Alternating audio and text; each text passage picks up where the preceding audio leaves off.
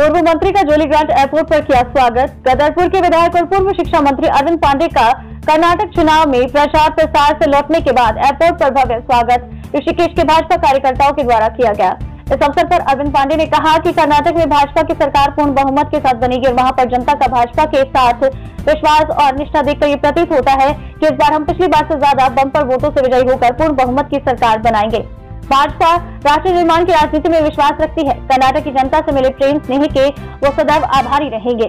नवभारत समाचार डोईवाला उत्तराखंड से आरती वर्मा की रिपोर्ट।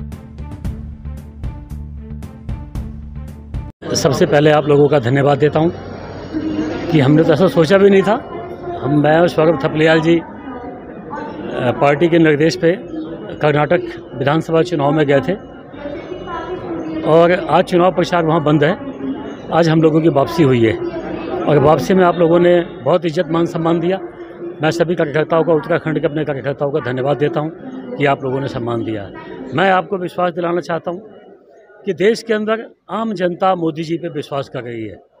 और कर्नाटक चुनाव में जो वर्तमान की गवर्नमेंट थी, भारतीय जनता पार्टी की, उसने अपने काम की वजह से जनता का दिल जीता है। कर्नाटक की जनता भी चाहती है कि डबल इंजन की गवर्नमेंट होने से स्टेट का भला है।